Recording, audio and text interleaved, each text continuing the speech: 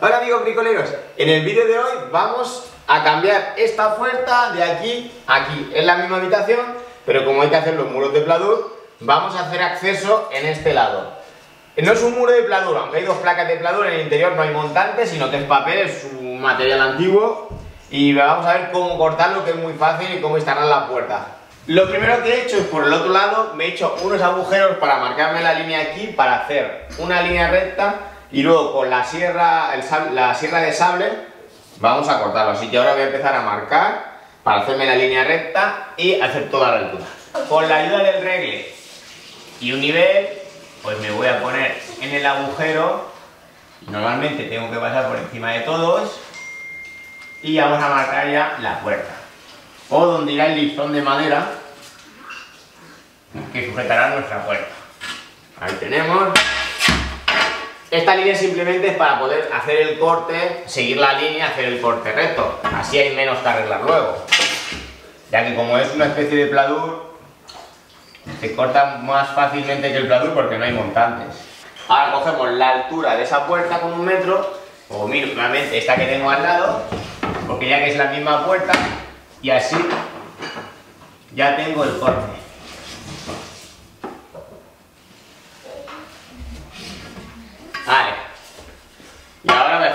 Línea exactamente lo mismo. Voy a coger la anchura de esta puerta, ya que es la misma, y la voy a poner ahí, marcada.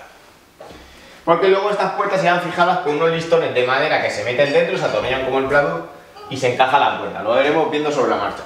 Una vez tenemos marcada la puerta, marcado el alto y el ancho, luego quitaremos el rodapié y con esta sierra que ya lo tenido en algún vídeo, con el sable, lo que vamos a hacer es, voy a entrar en el agujero voy a cortar toda la línea. Como ya os digo, aquí no hay montantes.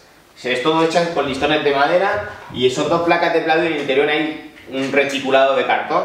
Así que lo más fácil del mundo para cortar. Lo único que tenemos que tener cuidado que hay cables eléctricos como ahí abajo.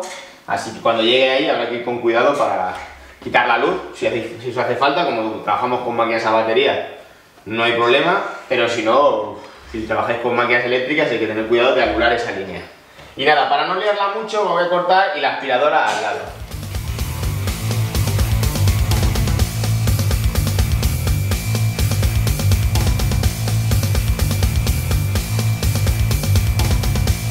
Voy a quitar todo el, el rodapié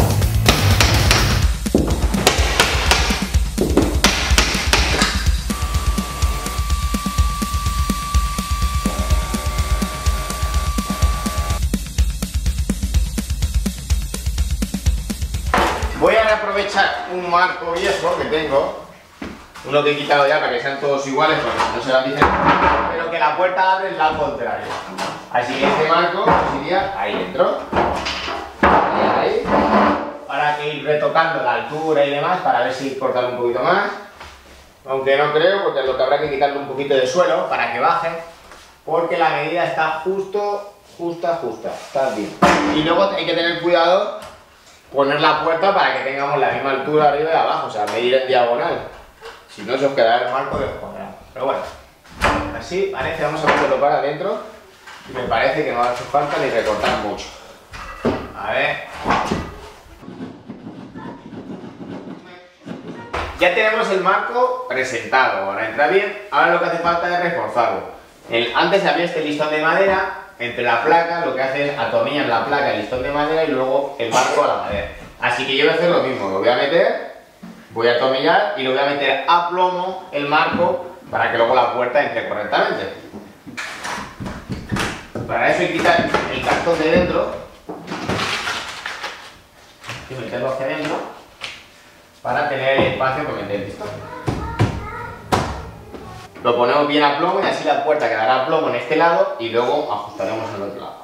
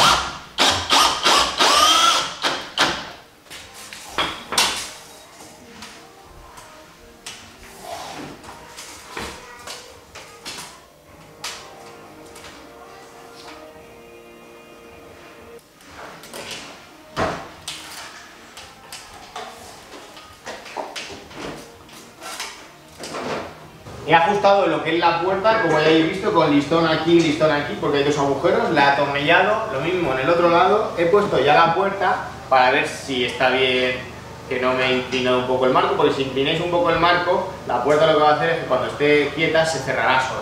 Entonces tiene que estar bien a plomo. Y lo que he ajustado también cuando cierro la puerta, que quede el mismo espesor de un lado de otro, porque ya sabéis, hay que mirar la diagonal para que el marco no esté más cerrado de abajo, si no la puerta no pasaría, mirad.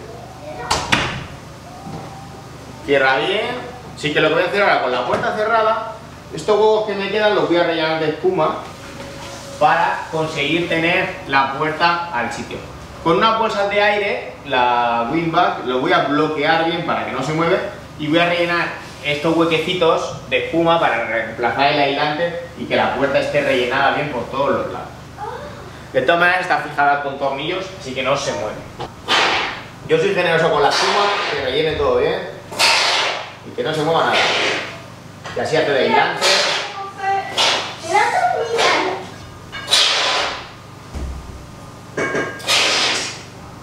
Como habéis visto he rellenado todo el marco con espuma porque como es cartón no es pladur, bueno es pladur pero hay cartón delante, no hay montantes, no se puede fijar como en el pladur normal.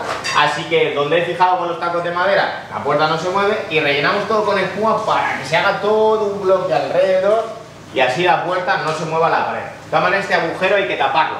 Vamos a quitar este marco y poner una placa de pladur.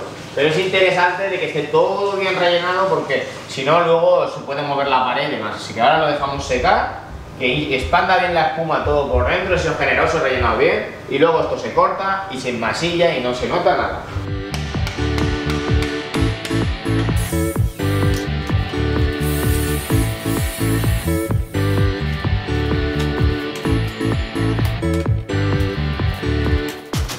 Para unir el pladur ahora tengo este listón de 3, de 3 centímetros que voy a apoyar en el suelo, no tengo ni que cortarlo, coge casi todo, y lo voy a taladrar sobre las maderas ya, para que lo haga más resistente y luego sobre eso poder atornillar las placas, que aquí no me pasa un montante. Así que nada, vamos a centrarlo bien, limpiar bien abajo para que apoye, le voy a hacer unos taladritos con una broca de madera y luego meter los tiraformas. Ahí.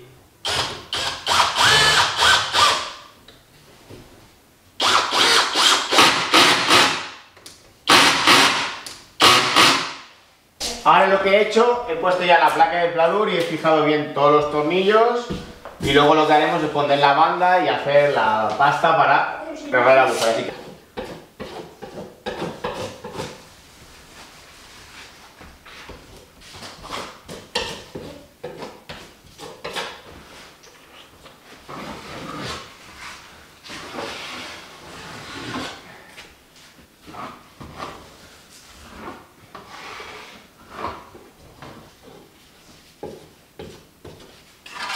He dejado secar la pasta unos días, ahora ya está duro. Lo que voy a hacer ahora es lijar. Hay muchas imperfecciones, si veis aún se ve todo lo que es la banda, hay huecos que tapar, pero bueno, ya se ha hecho dura la primera capa. Ahora voy a lijar para dejarlo todo plano, volver a enmasillar para intentar tapar todo y luego haré una segunda una tercera mano, volveré a lijar y haré una tercera mano para ya dejarlo bien definido, bien perfecto.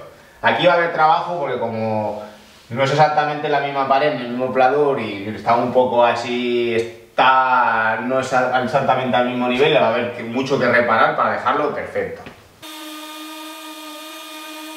Como veis he puesto un disco muy agresivo para que se lleve bien la pasta, pero bueno, aún como no está completamente a nivel, he hecho más por los bordes para que no quede mucha pasta, porque si luego vas metiendo pasta, metes pasta, luego cuesta más lijar, así que he hecho más el contorno y he hecho menos la placa porque aún no tiene el hueco aquí y hay que ponerlo bien a nivel. Así que ahora vamos, voy a añadir pasta, dejo secar y vuelvo a lijar pasta y así. Y luego ya vemos el resultado final.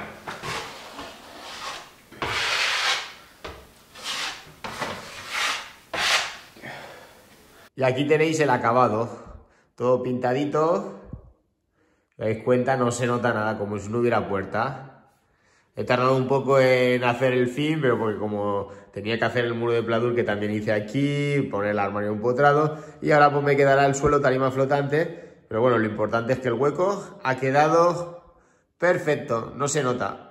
Y la otra puerta es esta que tenemos aquí, que ya solo faltaría pintarla y dejarla lista. Y ya no se nota nada. Nos vemos en otro vídeo, hasta luego.